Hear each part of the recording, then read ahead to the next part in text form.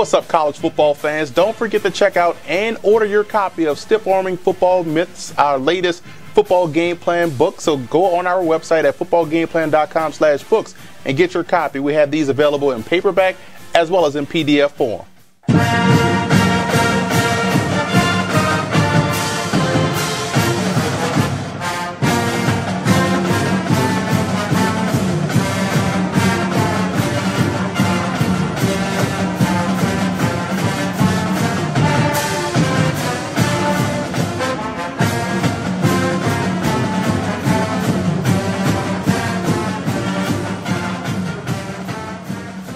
Welcome to footballgameplan.com where football makes sense. I'm Emory Hunt, the czar of the playbook, and welcome to another edition of Talking Ball with the Czar. I'm on the campus of Lake Forest College sitting with Coach Jim Catanzaro. Coach, how you doing today? Great.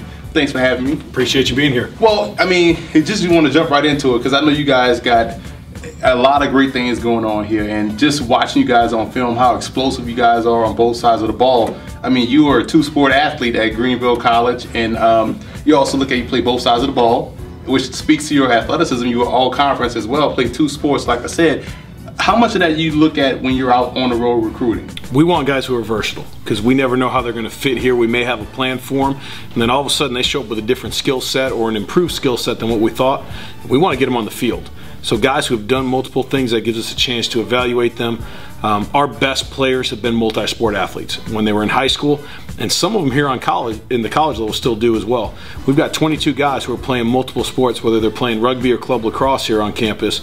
We encourage that to keep them athletic, keep them moving, and the most important thing is we want them to compete. If all they're doing is competing for 10 Saturdays out of the school year, they're not really getting a chance to really thrive. And so you can create that in the weight room, but when they get to go and play against other teams and other sports, it's a whole different juice going. Now, offensively speaking, that athleticism you talked about definitely goes into play because you guys spread the field. I mean, you guys cover every blade of grass. How tough is that for defense to match up against? Well, hopefully, what we get out of that is our guys are very comfortable in space, and that space in relationship to defenders or their space in relationship to other offensive players, creating more gaps, creating bigger windows for the quarterback to throw the ball.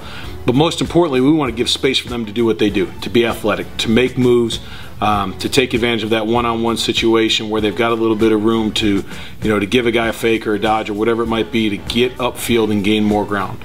Um, making opponents think while they're in space uh, may give us that foot, that yard that we need to make a five yard completion into a 50 yard completion. And the more we can take advantage of that, the better. Our guys being in those situations and in a lot of different sports, a lot of different avenues, we want to try to create as much of that as we can in any practice, any conditioning, any situation that we're in make them have to be able to adjust in space. You know, we don't want to close it into a phone booth and make it into a fight, but we want to make sure we create a little bit more opportunity for them to be creative and use some of that reactionary ability that they have that's been developed in those other sports. And if we do that, we should have advantages. Now, spinning it to the defensive side, you guys are just as fast defensively, 65 TFLs. Why are you guys so good defensively and why you find yourself in the backfield so often? Um, biggest thing is we keep everything to a single gap. And so guys are only responsible for one gap, whether they're um, you know a second level player or front level player. The other part is we use lighter guys with speed. We take kind of that philosophy that the that the U had back in the 80s, mm-hmm. where safeties become linebackers, linebackers become defensive ends, defensive ends become D tackles. And when you look at the guys who've been playing those positions for us the last couple of years, that's kind of what we've done. Um, the other thing we've got there uh, that has really helped us is we're an aggressive defense in our play calling where we're going to put some pressure on our corners. And we've had a great group of corners the last couple of years that have allowed us to do that where they can lock up the outside and then that allows the guys inside to do what they do and that's get after people. And I make it very clear to our recruits when they're on campus. If they're not aggressive and they don't like to hit people and go at them, then they should go play one of our conference opponents. We want to make sure we got the right guys playing for us. And that personality thing, you know, whether it's the guys that are coaching them or whether it's the guys that are executing it, we want that to be across every single facet of our defense. It's got to be aggressive, it's got to be fast, and it's got to be that way all the time. Now, you touched on something, how you use the old philosophy that you used back in the day. I'm always swinging the bat for size is not a skill. Can you explain to the people why that matters? Why people think, why is that misconception out there? And you guys are able to do it in reverse because size doesn't really matter. Yep. The biggest thing is we're moving. And so if you've got a guy moving fast, but they've got a big guy that's slow, we're going to have that advantage. And uh, we really focus on that, um, playing angles and positioning ourselves where putting them in a step behind us because we're moving as well. We're not reacting to what they do on the defensive or on the offensive side. Our defensive guys are now dictating what the offensive lineman has to do.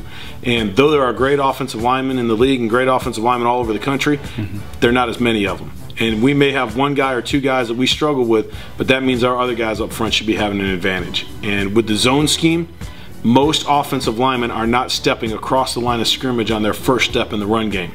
This allows our defensive linemen to stunt to a gap inside or a gap outside and be there before they are, or at least get into the backfield or across the line of scrimmage before they engage with them. And that's where the 65 TFLs come into play. Absolutely.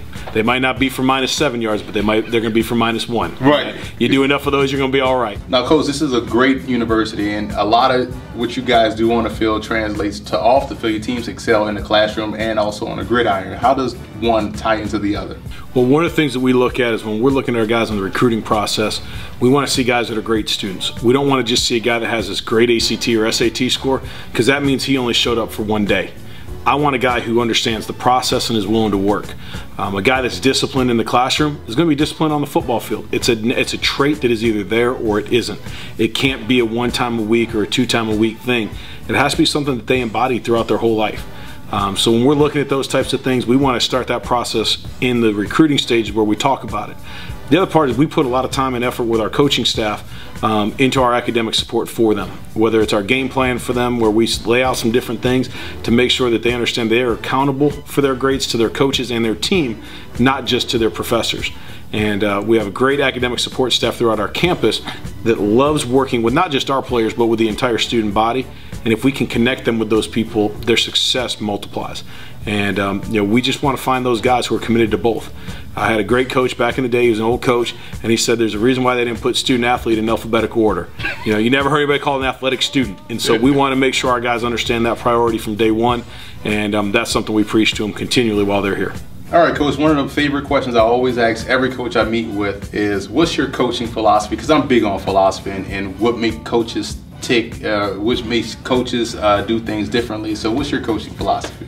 The first part is we want our guys engaged all the time, and, and that doesn't mean just on the football field in the classrooms. It's civically. We want them to be um, fully immersed into what we do. We want them to understand that every time they put a paw on, okay, and they represent our program, that it's a big time deal. It doesn't matter how many people we have in the stands. It doesn't matter how many people are watching in the classroom or the cafeteria. We want them to be the ones that people can say, that's what we should be doing. I want them to be role models. I want them to be those kinds of people. I want them to embrace that. Um, most importantly, though, we're going to do it aggressively. We're going to get after every part of our program, whether it's the weight room, whether it's the classroom, whether it's, you know, we're doing a fundraiser for Relay for Life, I want our guys to take that opportunity to be first and to set the tone and example and say, we want to win in everything we do. And if we do that, we're going to be great. Um, defense coordinator I worked with at Wingate University, Rashawn Jordan, mm-hmm. used to talk about being grizzled. And, and, that's something we really have brought here and, and continue to do. Um, we lay it out to our guys what that means, um, that they got to come on campus for. Uh, but there's some things where we want our guys to just embrace handling adversity. We want them to really seek out opportunities to stretch themselves. And, uh, you know, most importantly, we want them to have a lot of fun doing it. And I think that our guys, you know, whether it's Motown Mondays or Way Back Wednesdays, we're going to incorporate music and have some good, you know, good times when we're in the weight room or in the in the training sessions out of practice, but never at the expense of our continual movement forward. We always want to be moving forward, and uh, you know, our guys make it a lot of fun to do that. So, which is why you guys have had a lot of success on the field, off the field, and I've had a lot of fun today meeting with you, Coach. I want to say thanks a lot. Appreciate it, and man. we wish you guys the best luck next year moving forward. Thank you. Come back anytime. Oh, definitely.